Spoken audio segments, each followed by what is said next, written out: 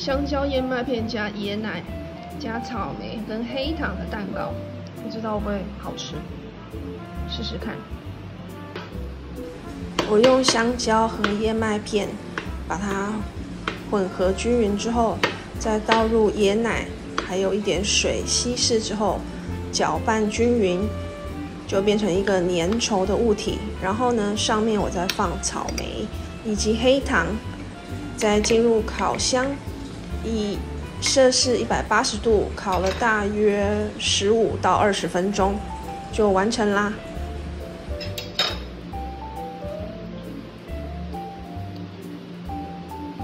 嗯，还不错哎，很特别。虽然草莓很酸，可是还好有黑糖的甜。然后那个下面的质地是软软的，薄薄软软的，一点点 Q Q 的感觉。也好像挺可怕的，好像发霉这样，可是我觉得味道还是挺不错的，配一杯清水就不错了，酸酸又甜甜。先生在吃晚餐，还是喜欢的盘面。大白菜汤，还有我做的恐怖的蛋糕。这是烤鲑鱼、芝麻包、萝卜蔬菜汤，以及白色的火龙果。这是我的早餐，我泡了一杯五谷粉，然后呢配水煮蛋，以及一个豆沙包，还有几片柳丁。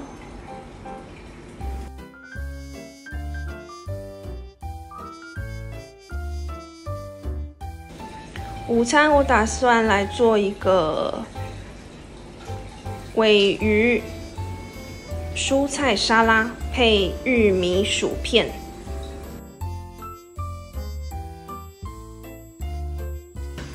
再把蛋丢进去。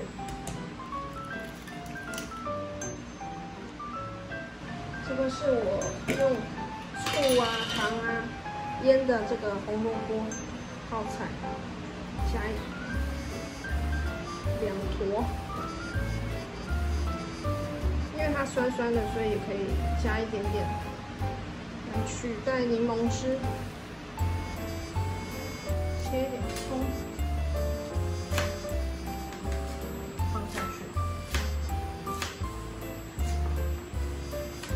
再切一点芹菜吧，它有很多绿色的，之前都洗好了，所以我现在直接切就好了。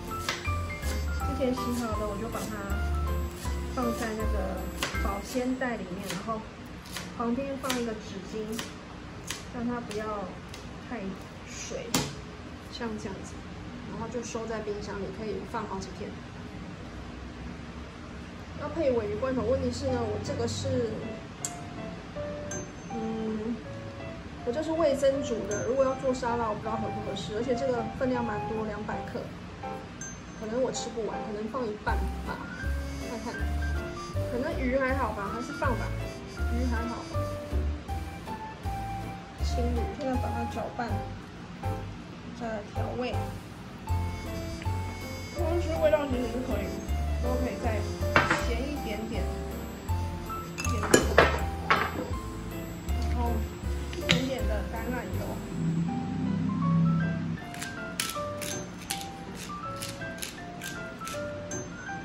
打算配这种这个 tortilla chips 吃，沾这个吃，我想应该会挺不错的吧。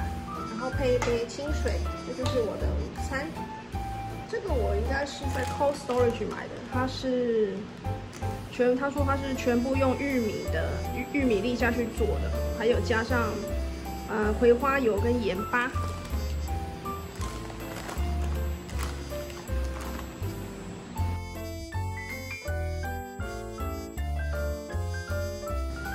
玉薯薯片只要沾沙拉类的酱都很好吃脆脆的饼干。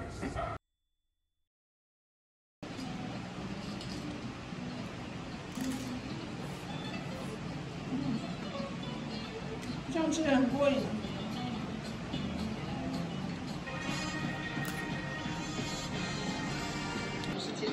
那我也在是有点怪，不过还可以接受啦。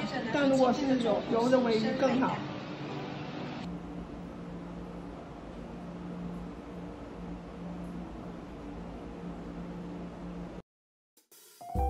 我用干净的瓷的汤匙和杯子，把康普醋中的木质菌，其实这个厚的是木质菌，把它捞出来，放到杯子里。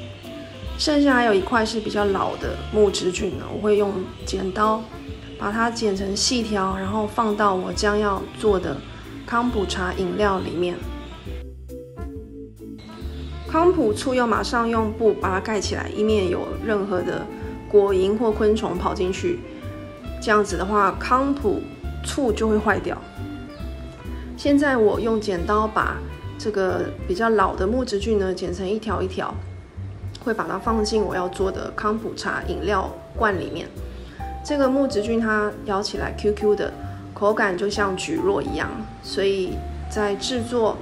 好的康普茶里面呢，加入这个木质菌呢，会增加这个饮料的口感，也会增加喝的趣味性。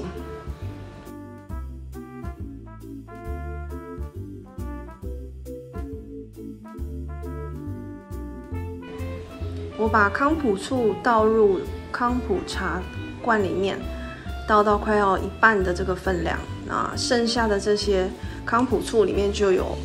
呃，红茶菌，等一下会加入这个冷却的这个红茶，甜的红茶，然后就可以再制作新的康普醋。然后这个饮料呢是我自己调配的，我用椰汤加上杏仁糖浆，加上水，哦，溶解之后呢，把它倒入这个康普茶的这个饮料罐里面，就会成为呢，呃，康普茶的饮料。那我会放一到三天呢，让它再室温再发酵一下，让它的味道更加的浓郁跟融合。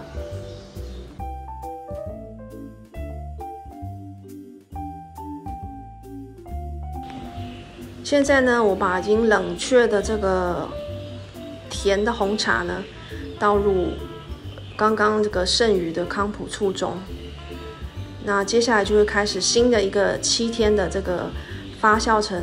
康普醋的这个阶段，然后记得把这个木质菌呢再把它放回去，把它倒入，然后呢用布盖起来。那么接下来呢就开始新的七天的发酵。然后呢在新的这个要发酵的康普醋中，我通常会加一点糖。今天我加的是椰糖，让这个红茶酵母菌呢有更多的糖来让它成长。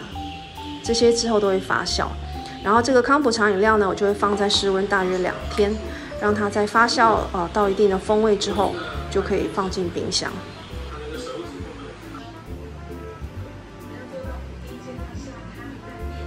炒了蔬菜冬粉，然后一个萝卜虾仁虾子汤，上面里面还放了一些冷冻的鹅啊。